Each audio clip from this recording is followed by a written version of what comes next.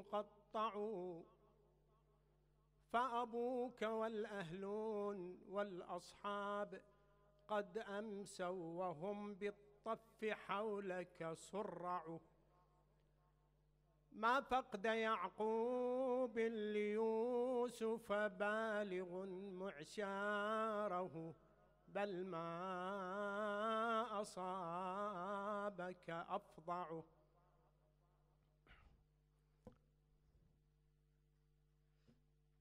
نهض الإمام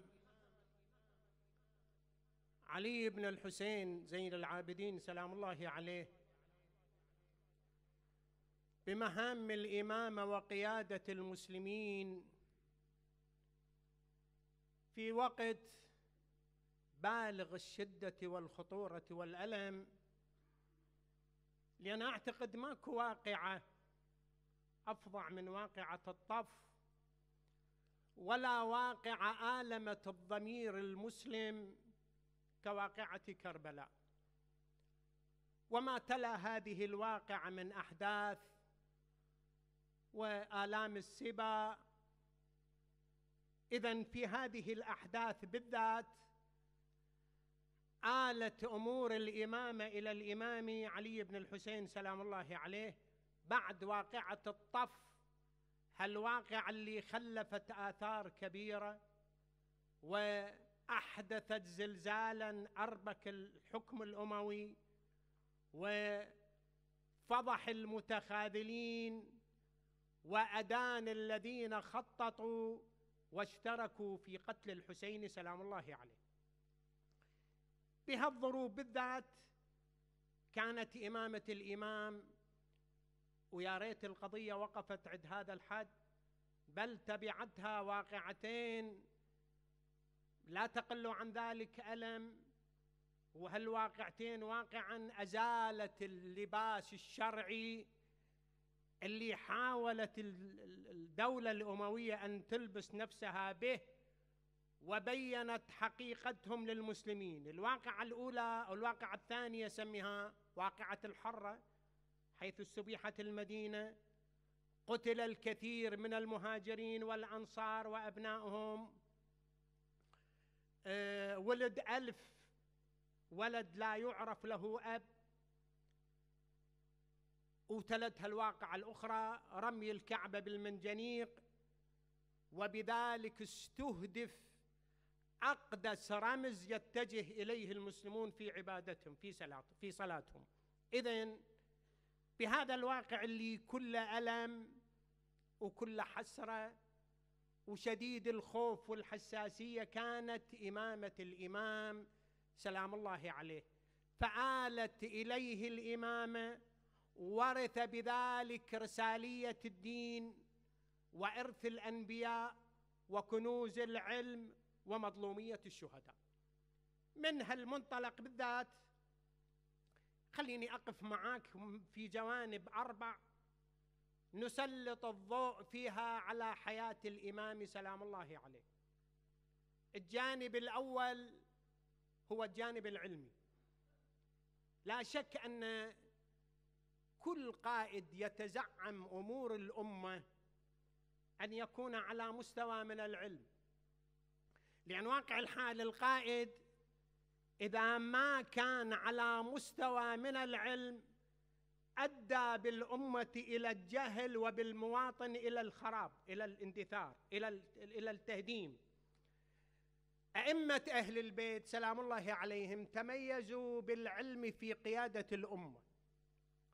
وبرز الإمام علي بن الحسين بالذات في أنه أول إمام من أئمة أهل البيت يجلس بالمسجد النبوي ويفتي.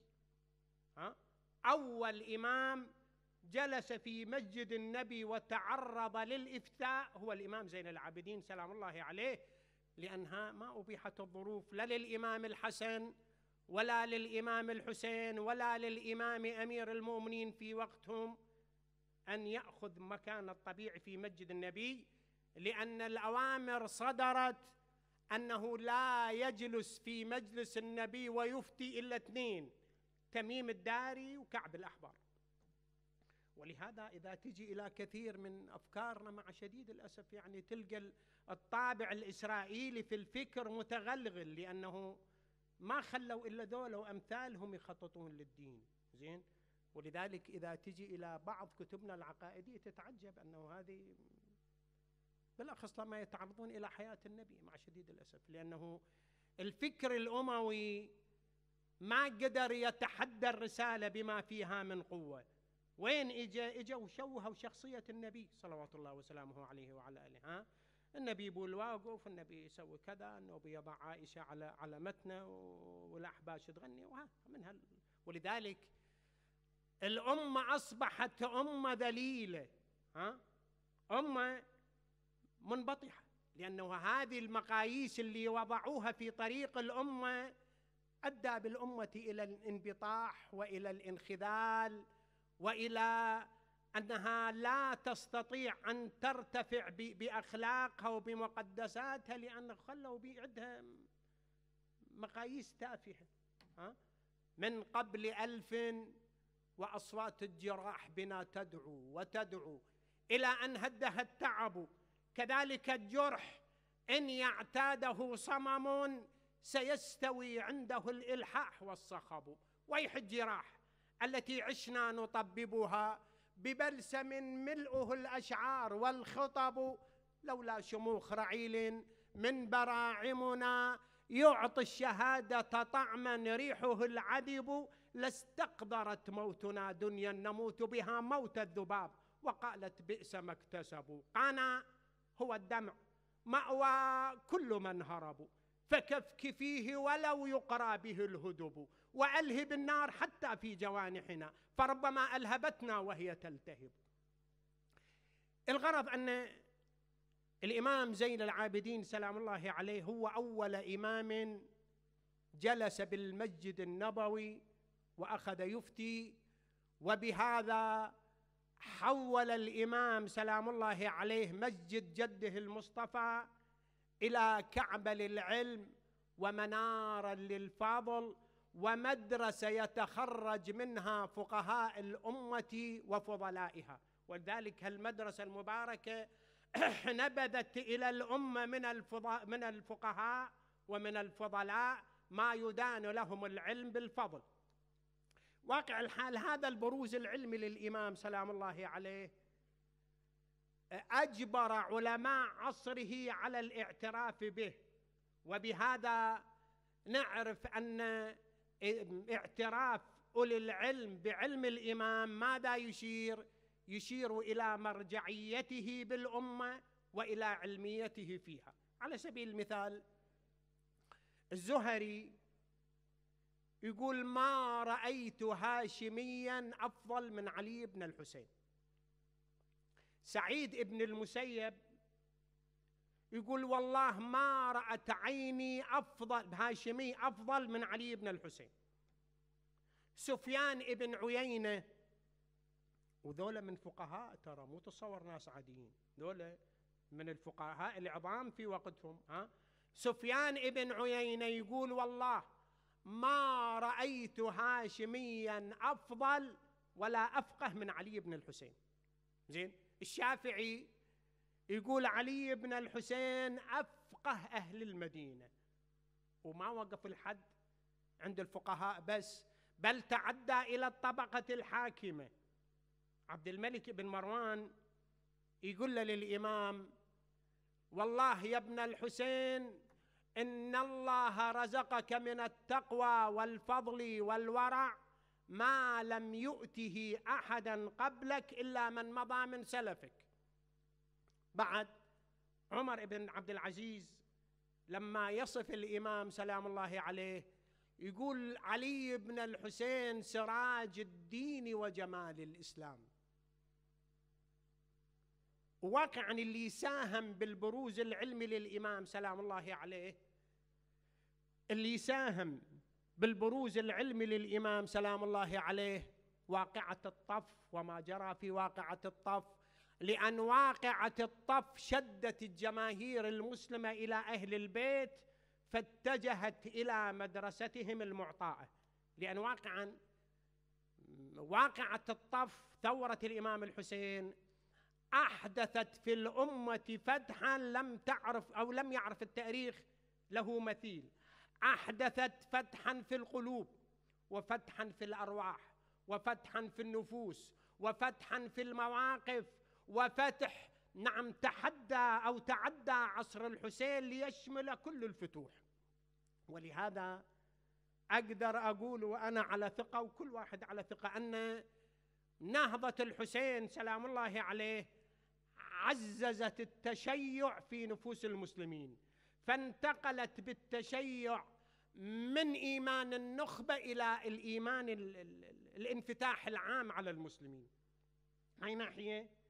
الناحية الأخرى كان لعزوف الإمام سلام الله عليه عن التجاذبات السياحي السياسية بالساحة الأموية كان له أثر إضافة إلى محاولة من جاء من بعد يزيد إلى التخلص من كربلاء وما جرى في كربلاء من مصائب مما تسبب في انكفاء الجماهير المسلمة عن الحكم الأموي يريدون يخلصون هالتبعية. كل هالأسباب ساهمت في بروز البروز العلمي للإمام وتبوأها المركز الذي يليق به. اذا الإمام علي بن الحسين جعل من مسجد جده المصطفى منارا للهدى وقبلة للعلم فشدت فشد أهل العلم والأدب الرحال إلى المدينة لكي يستافوا من علم علي بن الحسين وريث علم النبوة. زين هذا الجانب الأول في حياة الإمام الجانب الثاني الذي تميزت به حياة الإمام سلام الله عليه هو جانب الدعاء. واقعا الإمام سلام الله عليه جعل من الدعاء وسيلة فعالة لتثبيت القيم والأخلاق وتركيز معالم الهدى والإنسانية بالنفس المؤمنة. من جانب ومن جانب ثاني اتخذ الدعاء وسيلة لمحاربة الأسباب اللي أو المخطط الذي اتخذه بنو أمية لإفساد الأمة.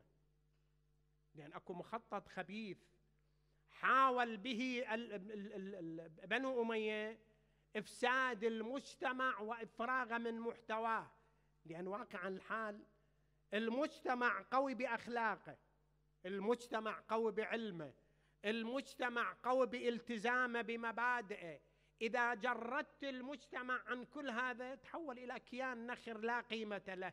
ولذلك شمر الإمام سلام الله عليه عن ساعدي الجد ولجأ إلى الدعاء كوسيلة لإصلاح الأمة. ها؟ وسيلة لإصلاح الأمة. وهذا واقعا السلاح. لا يعد تحدي للسلطة القائمة. ولا معارضة واضحة. نعم.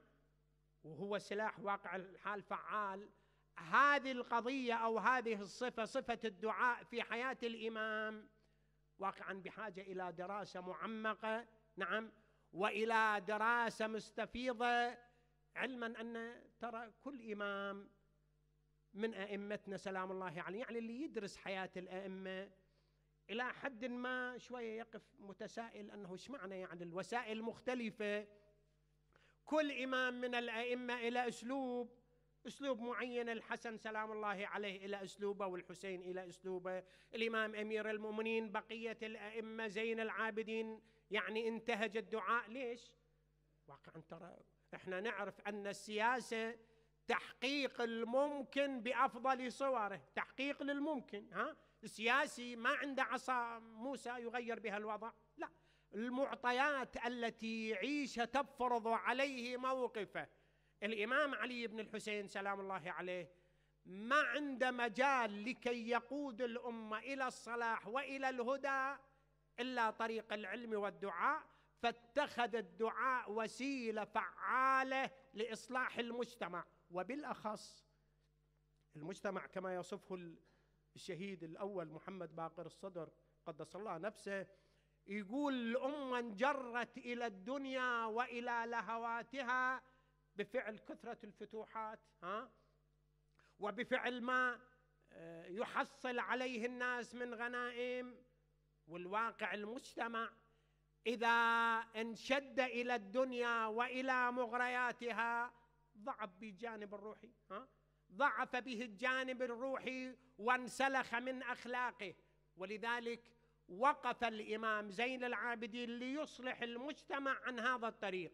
ولهذا إذا تلحظ كتاب الأغاني لأبي الفرج الأصفهاني وهو يخطط أو هو يترجم للشعراء والمغنين في تلك الفترة وكيف تحولت شوارع مكة والمدينة إلى مراتع للغناء ومجالس للهو بشكل مخيف.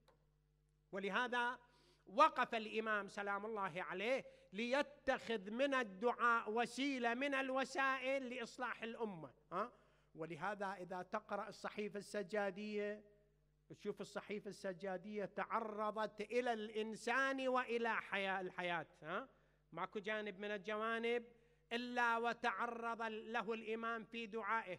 تعرض إلى الجوانب الأخلاقية إلى الجوانب الإنسانية إلى الجوانب التربوية إلى الجوانب الاقتصادية وحتى إلى الجانب العسكري في دعاء الثغور. نعم.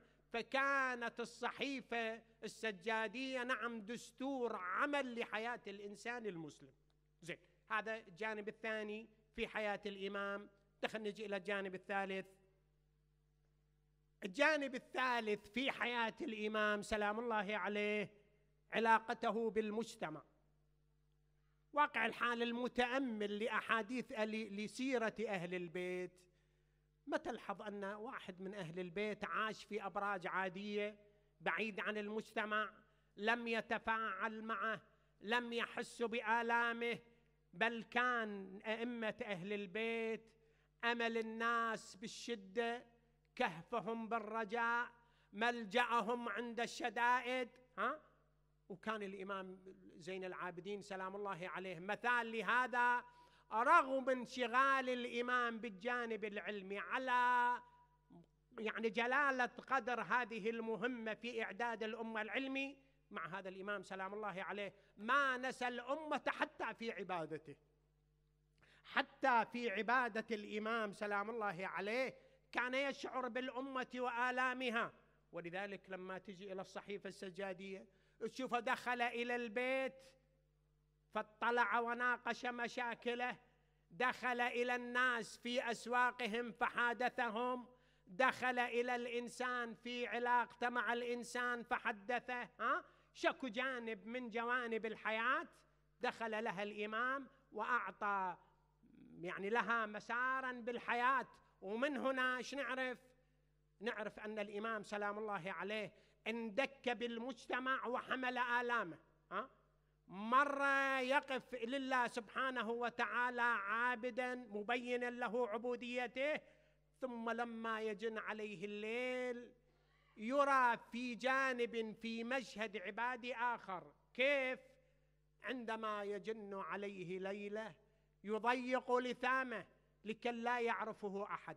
لأن أهل البيت سلام الله عليهم اكرموا الإنسان واكرموا قدره ها؟ ولذلك جد الإمام أمير المؤمنين ينطينا أسلوب بالعطاء ما عرف من قبل ذلك. إذا اجى محتاج إليه يقول له اكتب حاجتك على الأرض وانصرف. يقول له يا أبا الحسن دعني دعني أبيح بمدحتي سأنا أرد أمدحك؟ قال لا لا. أنا أكبر مما في نفسك وأقل مما في نفسي وكان يردد سلام الله عليه الجود ما كان ابتداء. فأما ما كان عن مسألة فحياء وتذمم. المعنى اللي ياخذه ابن حيوز ولقد دعوت ندى الكرام فلم يجب. فلأشكرن ندى أجاب وما دعي. ومن العجائب والعجائب جمة شكر بطيء عن ندى المتسرع. ما كان عند الجد نراه اليوم عند الحفيد ها؟ بعضهم من بعض ها؟ نراه عند الحفيد. كان إذا جن عليه ليلة ضيق عليه اللثام لكي لا يعرف حتى إذا رأوه أولي الحاجة والفقراء من الناس تنادوا لقد جاء صاحب الخمار لقد جاء صاحب الجراب. نعم.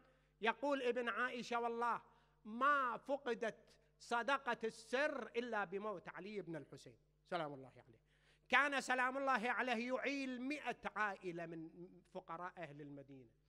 كان سلام الله عليه في سمو النفس ورقيها من أن تتكبر على الإنسان لأنه كما يرى كما يرى جده النبي أن الإنسان مصدره التراب. ولا فضل لعربي على أعجمي إلا بالتقوى. كان سلام الله عليه إذا جلس, جلس على خوان طعامه اجتمع حوله الفقير المسكين المحتاج وكان يطعمهم بيده. أكثر من هذا يحمل الحاجة إلى عوائلهم لمن عنده حاجة. وضعوه على المغتسل فرأوا آثار مجل على ظهره. يسأل الإمام الباقر يا ابن علي يا ابن رسول الله ما لنا نرى هذا المجل؟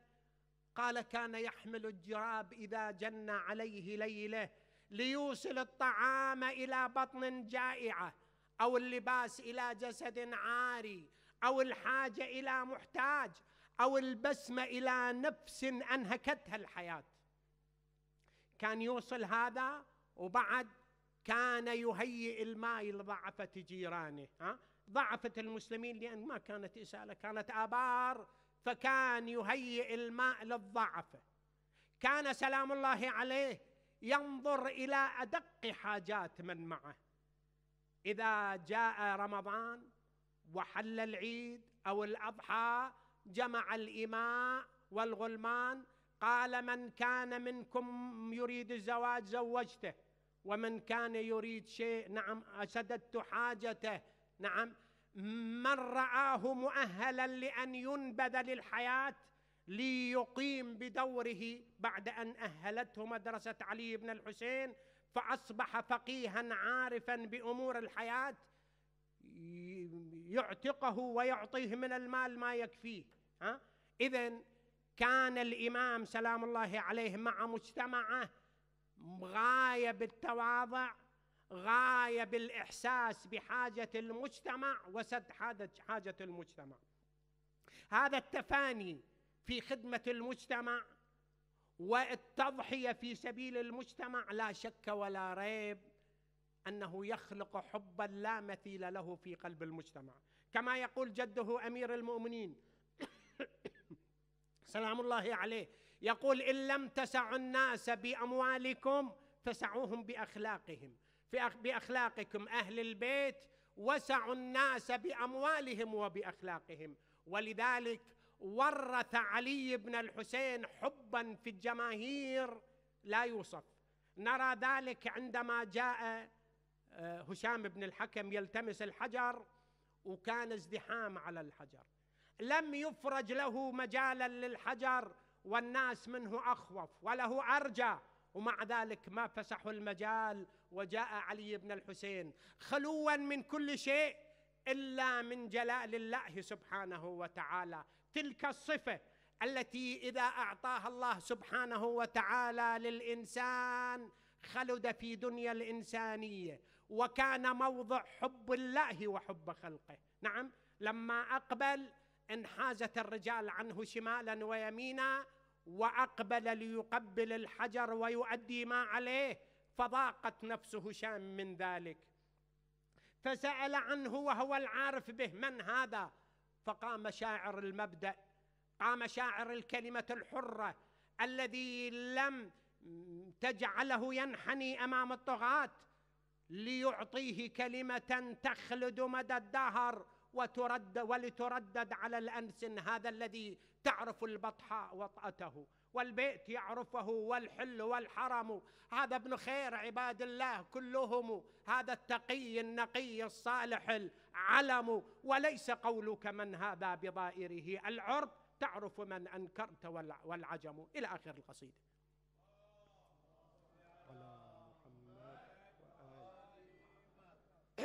اذا هذا الجانب الثاني في حياة الإمام. سلام الله. الجانب الثالث في حياة الإمام. الجانب الرابع واقعة الطف وآثارها على حياة الإمام سلام الله عليه. لا شك أن واقعة الطف لم تكن واقعة جرت في فترة زمنية وانتهت إنما بقت آثارها في دنيا الحياة وستبقى مدى الدهر. فدم أرقت كأنه من جدة الآن ينطق بالثرى ويعبر. ما كانت واقعة الطف واقعة يحتويها زمان بل ستبقى مدى الأزمان ناطقة. وهذا الواقع لو كان بنو أمية يعرفوه والله لحافظوا على الحسين. ولا ولم يقتلوا الحسين. ما كانوا يعلموا أن الحسين يأخذ هذا المجال من النفوس وهذا الأثر من الحياة. زين؟ خلدت واقعة الطف ولم تخلد واقعة الطف لذاتها مع جلال قدرها ها؟ لكن واقعا سبب من أسباب خلود واقعة الطف وقوف أئمة أهل البيت سلام الله عليهم. تعرف أئمة أهل البيت حاولوا بألف وسيلة ووسيلة أن يحولوا ما جرى في كربلاء يوم عاشوراء إلى قضية وليس إلى ذكرى تمر على النفوس وتنتهي وينتهي آثارها. ها؟ أبدا. بواقعة الطف بقت في الأذهان وستبقى في تداعب الأرواح والنفوس مدى الدهر ها؟ الجراحات والدم المطلول أينعت فالزمان منها خميل ومشت تزرع الفتوح وبعض الدم فيما يعطيه فتح جليل والدم الحر صرخة تنبئ الأحرار والسائرين هذا السبيل وحديث الجراح مجد وأسمى سير المجد ما روته النصول. ثم عذرا انتهت يا دم يا جرح فقد أرجف الخيال الشمول. أرجف أنك القتيل المدمى أو من ينشئ الحياة قتيل؟ كذب. لن يقتل المبدأ الحر ولن يغلبنها التضليل. كذبوا لن يموت رأي لنور الشمس. من بعد نوره من بعض نوره تعديل. ويموت الرسول جسما ولكن في الرسالات لا يموت الرسول. اذا حاول أهل البيت سلام الله عليهم وفي مقدمتهم الإمام زين العابدين أن يحولوا ما جرى على أرض كربلاء إلى قضية. نعم تتفق فرق كبير بين أن نعيش واقعة كربلاء ذكرى تمر علينا فتنتهي وبين أن نعيشها قضية تتفاعل في سياستنا وفي أخلاقنا نعم وفي كل مناهج الحياة وتتحول إلى وسيلة عمل وهذا ما دأب عليه أهل البيت وبالأخص الإمام زين العابدين سلام الله عليه اولا أسس المجلس الحسيني. الإمام سلام الله عليه أسس المجلس الحسيني وترك لنا هذا المنبر. هذه الوسيلة اللي واقع الحال تتصل بعاطفة الإنسان. ومن أسهل الأشياء على الداعية أن يستغل العاطفة لإنزال الفكر. ومع شديد الأسف. ما احترمنا هذا المنبر. اللي تحسدنا عليه الأمم. هذا واحد من من القساوسة يقول لو كان لنا حسين كحسينكم نصرنا العالم كله خلينا نصارى. ها؟ شوف الآن إيش قد من النفوس مشدودة. في محرم آلاف الناس تنشد إلى المنبر. وهذا ما لا ما وجد في أي دين وما وجد في أي تجمع وما استطاع أي حزب أن يوجده إنما وجده محمد والحسين.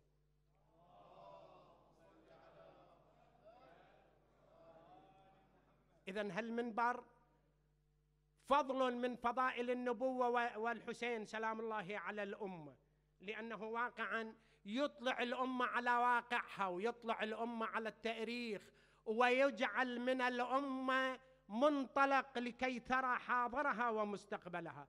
لكن مع شديد الأسف بعض الأحيان المنبر صار وسيلة تجهيل ها؟ وسيلة تجهيل وأحلام حلمت وفلانة صار حلمت وشفت رؤيا وهالحكي هذا. ما أدري أنت حلمت منه إبراهيم الخليل أنت ها؟ أكلت باكا وترخمت على على قلبك. يعني أنا أنا كمسلم يعني شنو أتعبد بأحلامك؟ لا يا أخي أنت ارتفع بالمنبر إلى مستوى العقائدي. أرتفع بالمنبر إلى ما أراده أهل البيت سلام الله عليهم. لا تحاول تجي تنطيني حشو حتى ثلاث أرباع الساعة على الناس وتنزل. أنت جا تاخذ طاقة من الناس. إيش قد قاعدين تحت منبرك؟ 100 ماخذ منهم 100 ساعة. الله يسائلك عن ذلك. زين؟ اذا أهل البيت سلام الله عليهم أسسوا المجلس الحسيني. بعد الزيارة لأهل البيت. وضمنوا زيارات نعم مفاهيم تربوية وأخلاقية. زين بعد ذكر الحسين عند شرب الماء السجود على على تربة الحسين كل هالأشياء وضعها أهل البيت لكي يربطوا المجتمع بالحسين سلام الله عليه وأول من فعل ذلك الإمام السجاد. وبالأخص وطبعا الأئمة الذين جاءوا من بعده ها؟ وبالأخص الإمام السجاد عاصر قضية الطف صغيرها وكبيرها اكتوى بنار الطف والسبا وبرؤيا فقد الاحبه ها؟ وهذه ميزة امتاز بها آه، الإمام السجاد. ولذلك حاول الإمام السجاد رأى بالأمة شحنة عاطفية وجهها توجيه ديني. شلون؟ مثلا من بكى على أبي الحسين حتى سالت دموعه على خديه بوأه الله بها في الجنة أحقاب في الجنة يسكنها أحقابا. لكن لن نحول القضية إلى تقول تعال شيخنا يعني أنا أبوق وأنهب وأسلب وأبشي لي دمعتين دخلت الجنة. لا لا مو بهالشكل. يعني لن نحول فكر جعفر ابن محمد الصادق إلى أضحوكة. لا لا. اللي يقوم بهذا عارفا بالحسين ملتزما بدينه وبأخلاقه ويبكي على الحسين لا شك أن هذا يأخذ أثر. زين؟ فاذا الإمام سلام الله عليه اكتوى بآلام الطف وكان الوسيلة الإعلامية لنهضة الطف هو وعمته زينب كان وسيلة الاعلاميه نعم وتقاسمت هي والحسين بنهضة حتم القضاء عليهما أن يندبا هذا بمشتبك السلاح وهذه من حيث معترك المكاره بالسبع وقفت زينب سلام الله عليها ومعها الإمام السجاد يساندها لترفع كلمة الحسين لأن واقعا كل حركة اجتماعية إذا ما تساند يساندها جانب إعلامي تنتهي ها؟ لأن أكو جانب إعلامي مضاد ولا بد للجانب الإعلامي المضاد أن يكون جانب إعلامي قوي مو؟ ولا ولا شك أن الجانب الإعلامي له تأثير على عقول الناس وعلى توجهات الناس. لأن إحنا ما ننسى هذا واحد. من أقطاب الحرب العالمية الثانية يقول إحنا غلبنا العالم بقنابل من ورق. صور الآن. افتك سلاح. هو السلاح الإعلامي ها؟ فالحسين سلام الله عليه هيأ الجانب الإعلامي الذي بين نهضته. وأعتقد أقول هو أنا واثق لولا الجانب الإعلامي الذي قام به الإمام السجاد والإمام وزينب سلام الله عليها لما اتخذ لما خلدت نهضة الحسين هذا الخلود. وقفت زينب سلام الله عليها أمام الطاغية الذي حاول أن يشوه الحقائق وقفت وكلها ثقة وكلها عنفوان. أظننت يا يزيد حيث أخذت علينا أقطار الأرض وآفاق السماء أن بنا على الله هوانا وبك عليه عزة. فكد كيدك واسع سعيك وناصب جهدك. والله لا تمحو ذكرنا ولن تميت وحينا. وما جمعك إلا بدد وأيامك إلا عدد. يوم ينادي المنادي ألا لعنة الله على الظالمين؟ هل بالضريح عقيلة تتوسد أو صارم تحت الثرى يتمرد؟ جلى بزينب رملة والأرض كم تشقى بها أو تسعد؟ خلق به فيما تألق حيدر وشمائل تزهو يزهو بهن محمد جمعتهما الزهراء فيك. فأنت ما بين النبوة والإمامة معقد. إذا وقف الإمام سلام الله عليه ليبين معالم الطف وأحداث الطف ورغم كل ما جرى عليه. ما رأى منكسرا. حينما دخل على الطاغية عبيد الله بن زياد وهدده بالقتل وقف مستهزئا بهذا التهديد مستهزئا بهذا الجبروت. قال أبي الموت تخوفني؟ ها؟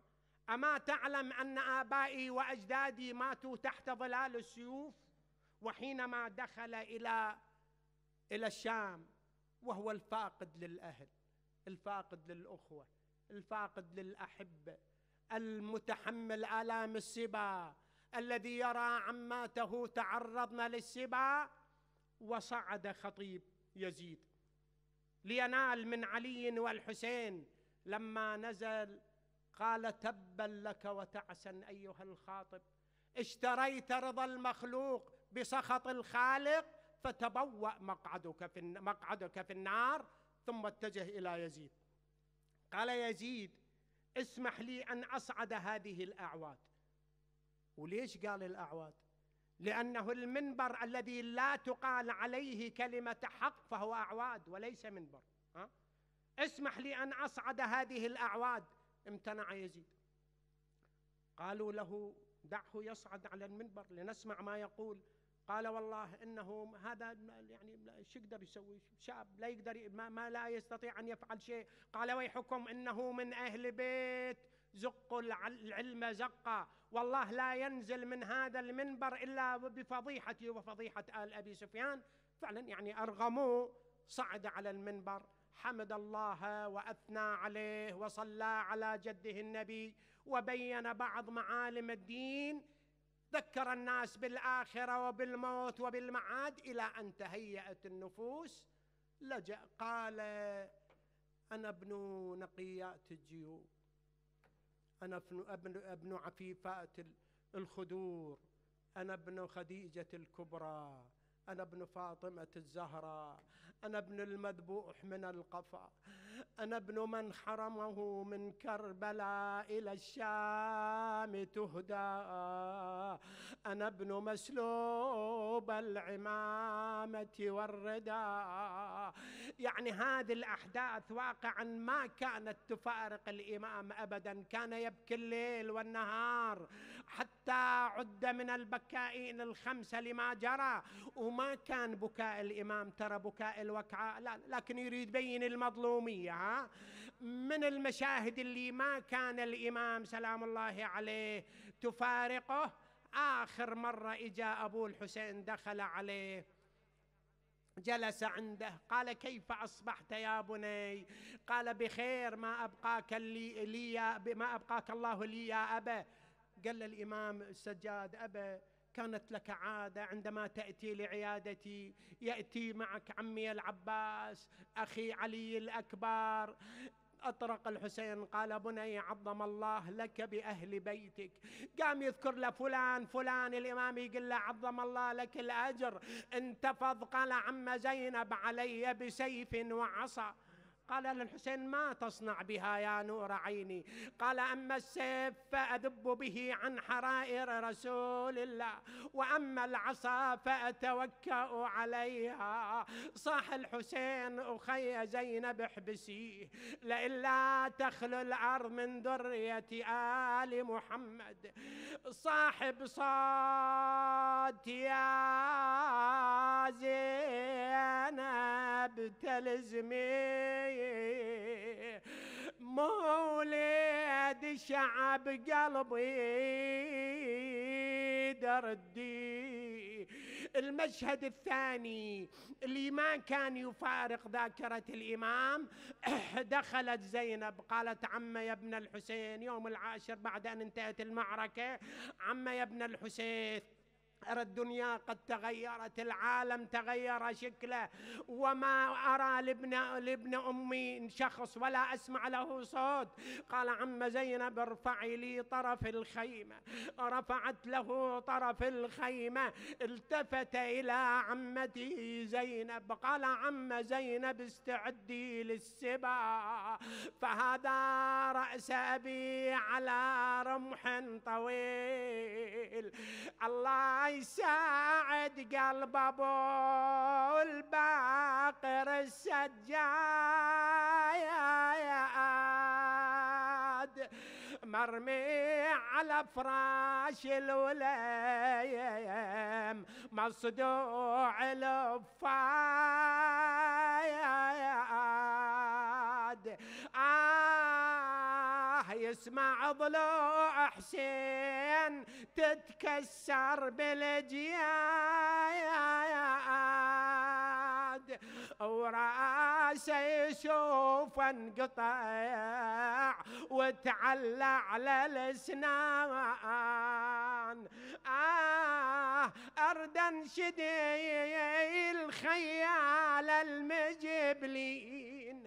عني الأبو بالله وقع وين بعد بعد اليوم بطلونين. حسين يا ظنوة الطيبين. بعد مشهد ما كان يفارق الإمام كان يبكي له الليل والنهار. لما جيء بالهزل من النياق لتصعد العائلة. ابن سعد قال للبعض من حوله اذهبوا اركبوا النساء. صرخت زينب قالت يا ابن سعد لا يقرب أحد إلينا نحن نركب بعضنا بعضا.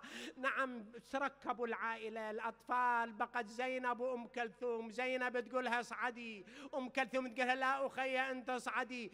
قالت أم كلثوم زينب لأم كلثوم أختي اصعدي. أنا لي من يصعد. أصعدني أصعدتها على الناقة ثم اتجهت إلى العلقم. صاحت أبا الفاضل أنت الذي أخرجتني من وطن جدي. فقم الآن وركب أختك. آه يا حسين دبرها زمان وخان بيا منين جتني كربلاء وعمت علي. لا تلوم قلبي إلى ثقال يا حسين همه طلعنا بجلاله وبالفضل يبرى الضعنا واليوم واليوم لازم ناقتي يشتم بهنا. فرحان شامت بالجرى عليك وعلي. أنا الجرى لي ما جرى الإنسان ولا جان.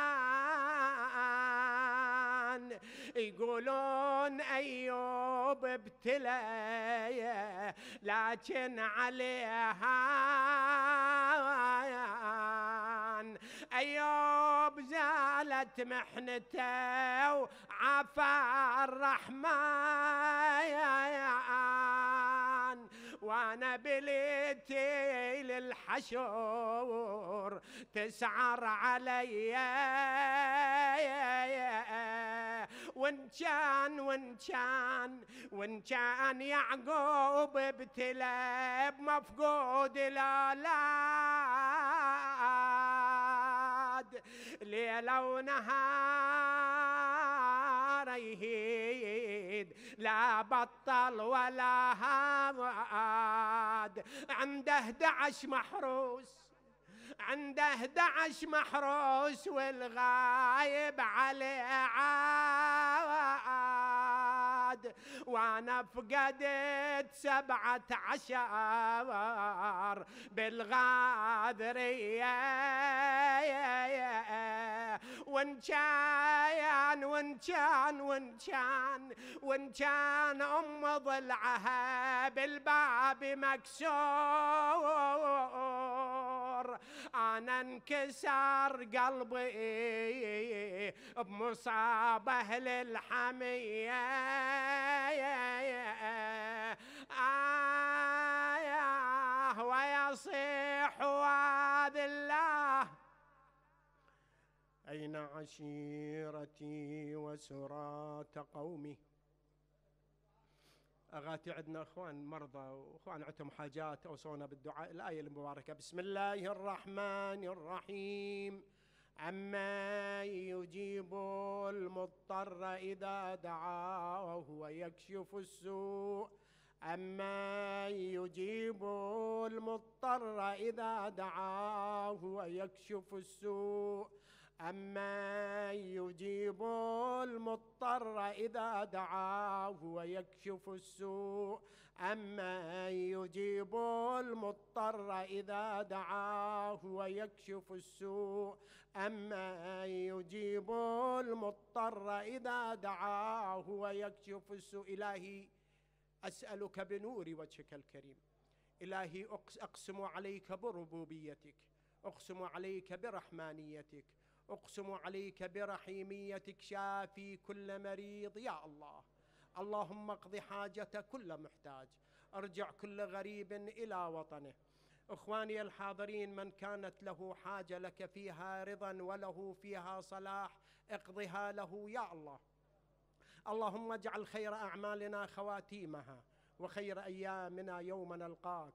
واسعدنا بتقواك ولا تشقنا بمعصيتك يا أرحم الراحمين. إخواني الحاضر اللهم احفظهم فردا فردا.